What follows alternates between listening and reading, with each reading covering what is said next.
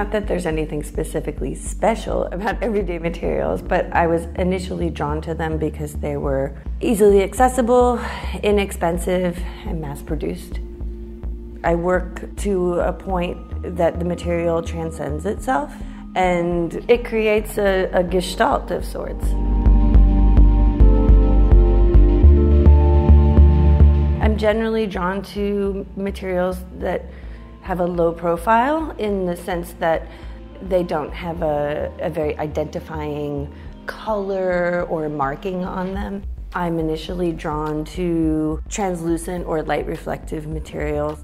What happens with the light and the interaction between the material and the light is partially what activates the sculpture. I mean, they're all very activated by the movement of your body.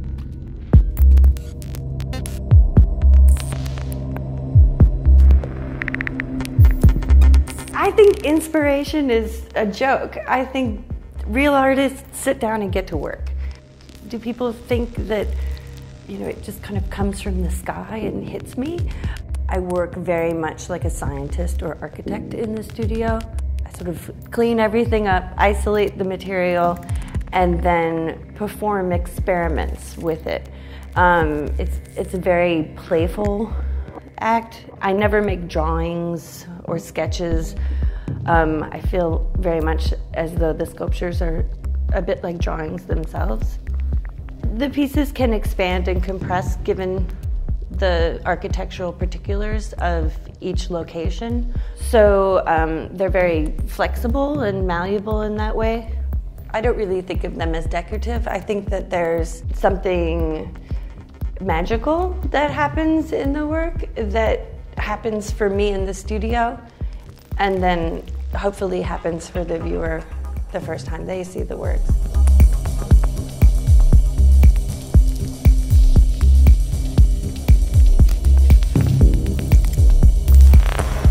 I think art is it's different for everyone. But it's different for every viewer and it's different for every artist.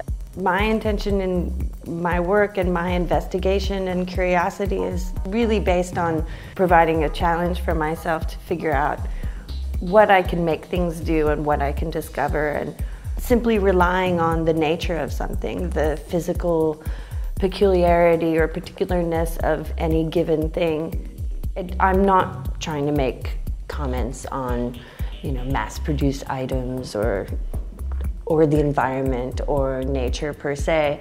I feel like my work, in a sense, it it's mimicking the ways of nature, not necessarily mimicking nature.